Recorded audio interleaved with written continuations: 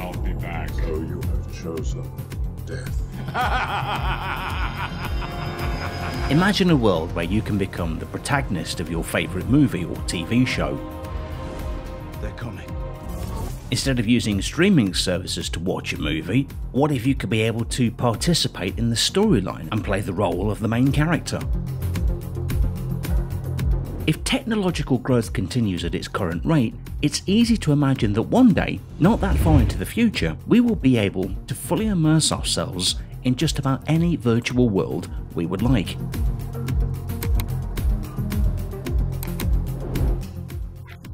In 2018, the global box office for the film industry was worth $41.7 billion, while the revenue of the gaming industry in the US alone generated a record 43.4 billion in 2018. However, when including box office and home entertainment revenue, the global film industry was worth $136 billion. But already, job security in acting has hit a whole new level of difficulty when the cost of CGI is lower than the cost of hiring professional actors.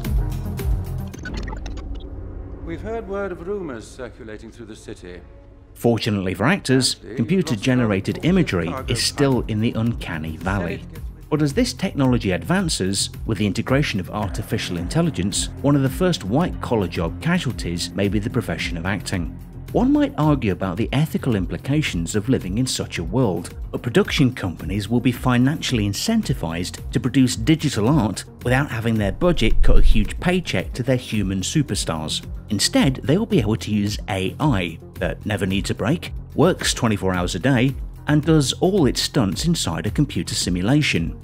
Arguing that this is far into the future is not compelling as the growth of information technology continues. We are not hardwired to grasp exponential growth, thus, we tend to spend our time making non sequitur arguments about this issue. But we ought to spend our time trying to improve the system so that the economic repercussions are not grave for certain occupations, like acting. Obviously, enormous changes like this would not happen overnight, and certainly actors are getting paid for their gigs in the gaming industry as well. There's nowhere you can hide, Spartan. It's reasonable to expect that this will only increase in the future as demand for higher quality of gaming graphics is fueling the growth of the industry. Can you kill something that big? In May 2020, Epic Games, the American video game and software developer and publisher, revealed their latest game engine called Unreal Engine 5, which supports all existing systems including the next gen consoles, PlayStation 5 and Xbox Series X. The goal of Unreal Engine 5 was to make it as easy as possible for developers to create detailed game worlds without having to spend excessive time on creating new detailed assets, allowing the engine to take care of these problems. It's simply breathtaking when you realise the progression of in game graphics went from this to this. And it will get only better. If technological growth and innovation continues, it stands to reason the time it takes to go from the graphics shown on Unreal Engine 5 to indistinguishable from reality graphics is far less than it took to go from the 1972 Pong game to the Unreal Engine 5 demo. It's time to see what's next.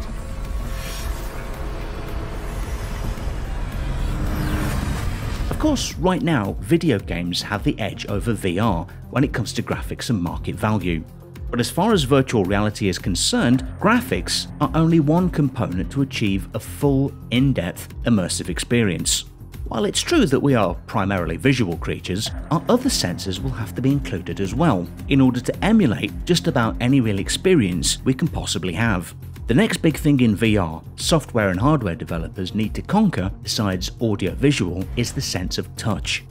There are countless virtual reality based companies focusing on developing sophisticated tactile technology with a variety of solutions, such as Avatar VR, Hi5 VR Glove, VR Free, haptX, Dexta Robotics with their Dexmo Haptic Force feedback glove, etc. VR games like Lone Echo 2, Your systems are failing. Undead Citadel, Medal of Honor, Half Life Alyx, etc., are expected to push the VR market forward. When the official gameplay trailer for Star Wars Squadron came out, people outside the VR community started to see the potential the virtual world has to offer. But as good as these games may look today, in 2025, we will most likely look back and wonder why we were impressed by them. It's fascinating how fast we adopt a dismissive attitude towards older technology once it gets replaced with a new, better one. However, being mindful of this bias, even if haptic feedback and VR graphics are polished by tomorrow, the VR experience still has a major obstacle to overcome locomotion.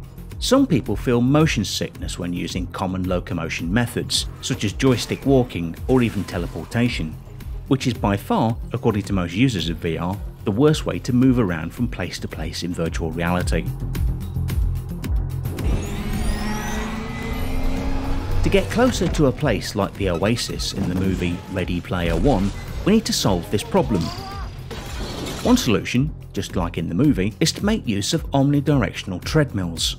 KAT VR, the China based VR tech company, came up with a customer centered VR treadmill called Kat Walk C. The $100,000 crowdfunding campaign goal was reached within three minutes and surpassed $1 million in less than a day. Presenting Kat Walk C, your first personal VR treadmill. The personal VR treadmill offers a range of motion such as running, moving backwards, strafing, crouching, etc. Who would have thought that gameplay, for once, would help you fight obesity instead of intensifying it? A 2025 version of VR graphics, haptic feedback gloves, full VR bodysuit such as the Teslasuit, and an omnidirectional VR treadmill like Kat Walk C will make the virtual experience become as close to a sci-fi movie as we can imagine. But first, the pricing of all these features has to go down. And that's when VR will eventually become mainstream, which is to say, owning a VR headset and all the rest becomes as casual as owning a cell phone.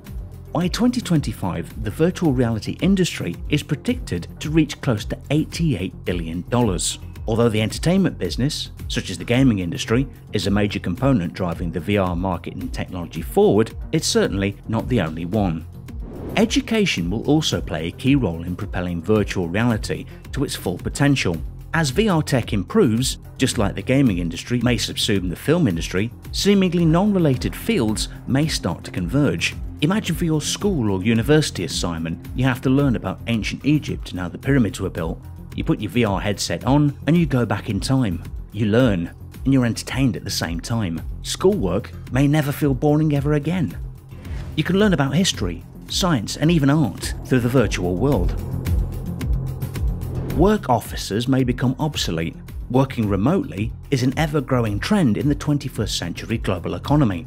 In the distant future, even jobs that require physical presence may be performed through a VR gear operating a robot connected to the employer's network. As AI self driving vehicles start to become the norm, the time for a car or aeroplane can be used much more productively with VR. Basically, every relevant field in our lives will be improved and transformed through virtual reality technology. Today, there are many tech giants involved in VR, such as Sony, Facebook, Microsoft, Samsung, etc. The list is only expected to grow. Apple will also eventually leave its mark in the VR business, literally. But today, Sony is still at the top with about 37% of the total shipments. In June 2020, they revealed the PlayStation 5 console. If they announce a release of a PS VR2 headset, they are expected to remain the lead VR vendor. As the competition between these companies fuels the VR industry, the evolution of virtual reality headsets will also accelerate. Today, it might seem the future of VR will be shaped by standalone VR headsets, which are wireless virtual reality headsets that don't require a PC or a smartphone to deliver a VR experience. The headsets, as made popular by releases such as the Oculus Go, include built in processors, GPU, sensors, battery, memory, and more. But the improvement of 5G technology will enable data processing with close to zero latency on a cloud based system, meaning the VR headset won't need built in processors to offer a virtual experience. A 5G fast internet connection will enable data processing on the cloud, which will possibly morph the shape of the VR headset ever so closely to a lens. Then we will behold the link between AR and VR into XR, but extended reality is a topic that deserves a video of its own. Thanks for watching. Did you like this video? Then show your support by subscribing, ringing the bell and enabling notifications to never miss videos like this.